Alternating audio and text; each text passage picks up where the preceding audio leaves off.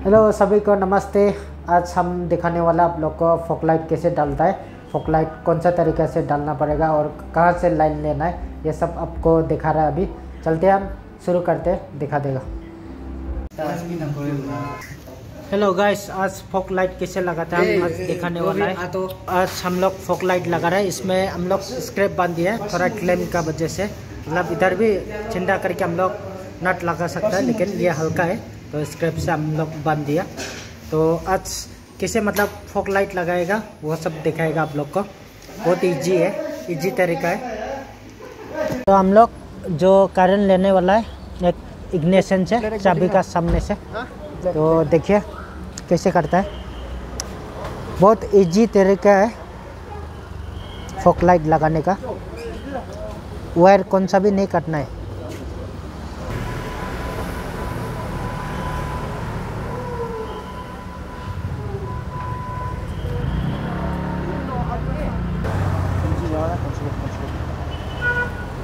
तो गाइस हम लोग ये मतलब डाल दिया है। वो चाबी का इग्निशन का जो मतलब कपलर है, उसमें दिया है।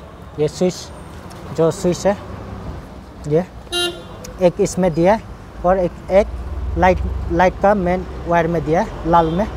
और ये जो कल्ला है, वो अर्थिंग जाएगा, किसी में भी जाएगा बॉडी लोग चलो अभी हम जला करके दिखाएगा। ये तो एक अर्थिंग हो गया कल्ला है। तो देखिए। ये। हाँ। ये देखिए। ये। ओके। ये दोनों जल रहा है। तो सिंपल सा है ये लाइट कनेक्शन जो करने के लिए।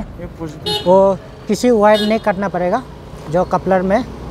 उसी से मतलब लाइन लेना पड़ेगा।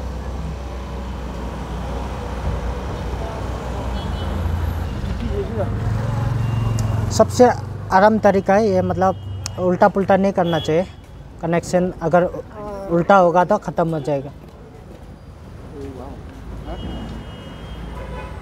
जो भी है कल्ला मतलब अर्थिंग में जाएगा। किसी में भी देना है, सकेगा बॉडी किसी में भी आपका जहाँ कंफर्ट होगा, वहीं में।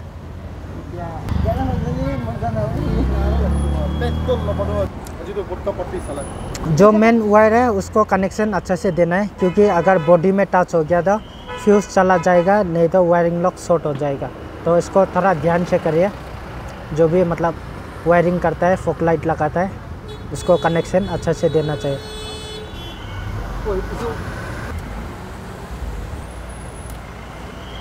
तो ऐसे मतलब बहुत अच्छा से टेप मार दो क्योंकि बॉडी में नहीं छोड़ने के लिए कनेक्शन ताकि वायर भी ज़्यादा नहीं होना चाहिए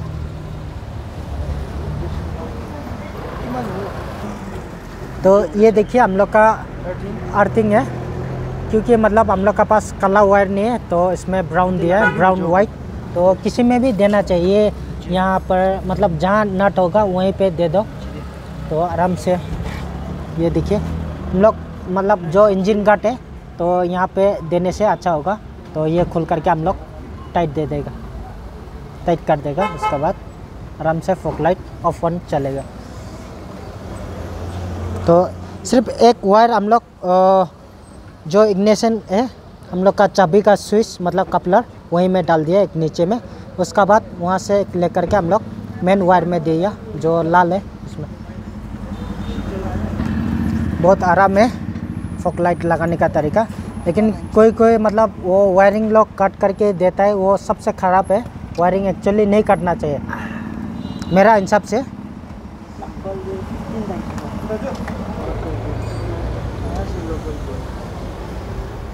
ये देखिए, हम लोग का इंजन गार्ड का जो नट है, वहीं में देना है हम लोग को अर्थिंग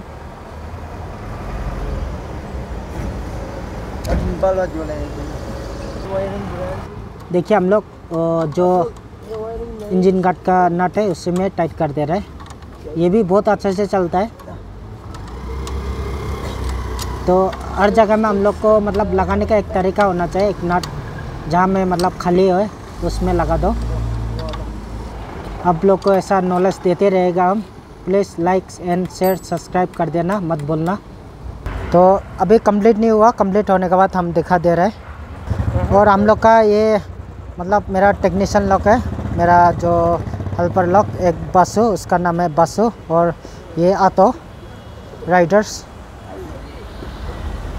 आप लोग तो गाइस हम लोग पूरा फिटिंग करके मतलब कंप्लीट हो गया। अभी हम लोग दिखा रहे हैं लाइट खुल करके। अभी हम लोग एक बार। ये देखिए लाइट आप लोग कोई किस्म का लगा सकेगा लेकिन अपना ऊपर है फॉक लाइट लगाने के लिए।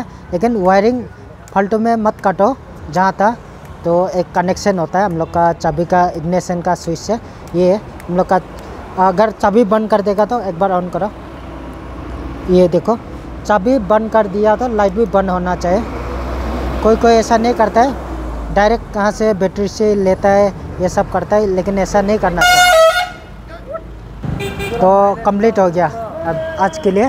तो अगला वीडियो में हम दिखाते रहेगा कहाँ से लाइन लेना चाहिए और अर्थिंग कहाँ में देना है, ये सब हम बता दे रहे हैं। तो कंप्लीट ये अच्छा से मतलब डालना चाहिए। वायरिंग ज़्यादा भी नहीं करना चाहिए। जितना मतलब हो सकेगा, उतना कम करो फॉक लाइट के लिए। अगर वायरिंग ज़्यादा होगा तो खुद का मतलब दिमाग ख़राब हो जाएगा। तो इस तरफ़ से मतलब वायरिंग करो। क्योंकि यहाँ पे बहुत दिया है मतलब क्या क्या वायरिंग किया है ये देखो। तो वायरिंग करना है तो थोड़ा अच्छा से करो, साफ़ से।